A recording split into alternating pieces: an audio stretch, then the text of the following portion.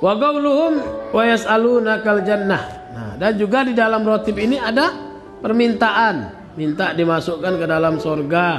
Wa yasta'izuna bika minan dan meminta perlindungan dari api neraka. Api neraka. Allahumma inna nas'aluka ridhaka wal jannah wa na'udzubika min sakhatika wan nar. Ya. Nah, ini adalah perintah dari Nabi kita Muhammad SAW kalau minta kepada Allah mintalah sorga.